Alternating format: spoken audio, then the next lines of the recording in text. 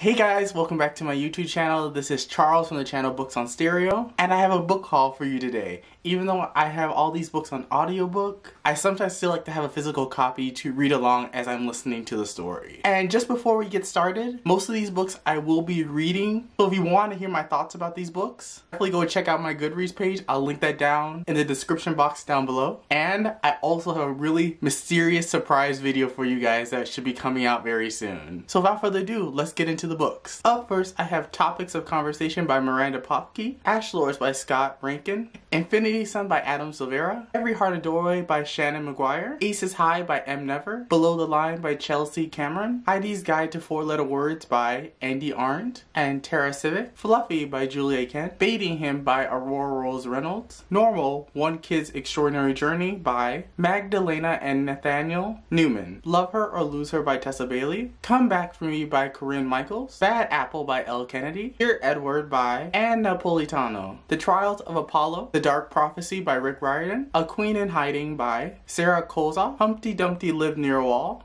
by Derek Hughes, Heartstopper Volume 2 by Alice Oseman, Things in a Jar by Jess Kidd, First Cut by Judy Melinek and TJ Mitchell, Race to the Sun by Rebecca Roanhorse, Consider This by Chuck Palahniuk, Lady Hotspur by Tessa Gratton, Ask Again Yes by Mary Beth Keane, The Most Fun We Ever Had by Claire Lombardo, Woven in Moonlight by Isabel Ibanez, Inappropriate by Vi Keeland, Humble Pi by Matt Parker, Capture Me the Complete Trilogy by Anna Zaires, The Vanished Birds by Simon Jimenez, The Tenant by Kent Engberg, Flowers in the Gutter by K.R. Gaddy, and finally we have Tightrope by Nicholas D. Kristof and Sheryl WuDunn. So yeah, I know that was a ton of books and I do plan on reading all of these books like I said earlier. I'll catch you guys with a brand new video. Bye!